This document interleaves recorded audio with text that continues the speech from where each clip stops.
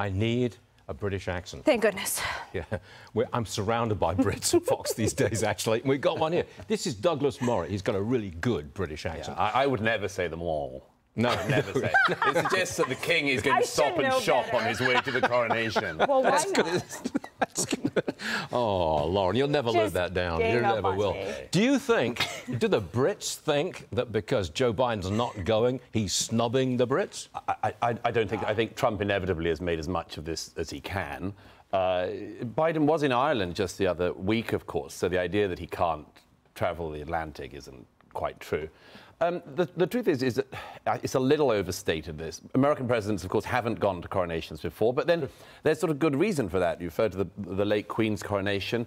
Uh, Eisenhower was president then and didn't go, but it was very close to the Queen. Um, and it wasn't a, a snub. The Korean War was going on at the time. Uh, the Queen, of course, reigned for between a third and a quarter of the time that the American Republic's been in existence. So complaining that, you know, presidents don't go to coronations becomes, well, before the age of air travel, you know, it was hard, and then you're sort of at the founding. So, so there isn't actually precedent for American presidents being at coronations. Uh, I, it, it can be read as a snub by some people, but he's sending his wife.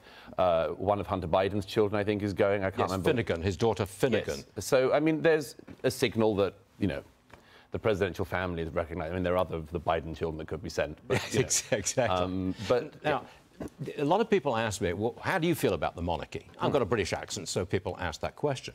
And I am intrigued by the coronation, Hmm. and there's a part of me which wants to be there. I like Yeah. the pomp and ceremony. I like that. And I like the Yeah. position that the monarchy occupies in Britain. So I'm interested. Yeah. But I'm a committed American and I'm staying here. Yes. How about you?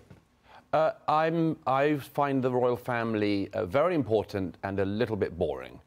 Um, and I think that's fine. They shouldn't be too interesting. I mean, I, I never read royal biography or anything like that. Um, I think the great, you know, I, after the Queen died, I said to a colleague of ours here at Fox, um, who said, I have a bit of a problem with the whole monarchy thing. And I said, look, the best way to think of it is imagine that the flag is embodied in a person, the American flag. What all Americans swear allegiance to, fight for, die for.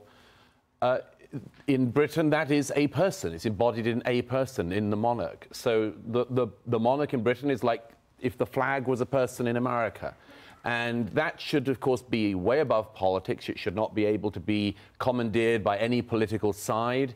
Um, and, you know, all countries have their oddities. And it's one of the great things about uh, all countries. And I, I celebrate the oddities. But the, monarch, the monarchical system works. It works It works very over well. there. Didn't work here. Didn't work so well here, exactly. Not so well here. Yeah. No, well, I mean, here. it's, it's Go uh, ahead.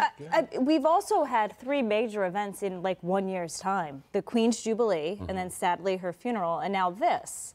So, since when have we spoken about You've got royalty British fatigue? Monarchy. No, I think it's exciting. I think it draws more attention to it Yeah, for so. Americans.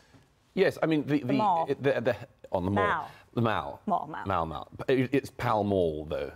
No, it's that's not true. Um, Yeah, the cigarette?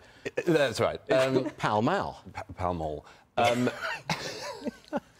anyhow, but tomorrow morning we'll all be up bright and early to see the royal stagecoach setting off. 5 a.m.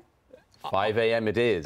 Don't miss it. Aren't you glad that we brought you on the show today? Not to discuss the serious stuff about education, which you're an expert on. Oh, no, no, the royal family. That, that- that's quite all right. When the late great Barry Humphries was interviewed for the uh, royal wedding some years ago, he said live on air as Dame Edna when the host said, "How do you feel about this?" And uh, Barry Humphries said, "I'm a teensy bit bored."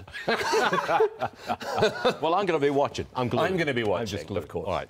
Thank you very much indeed, Douglas. Thank you. With your accent. Good stuff.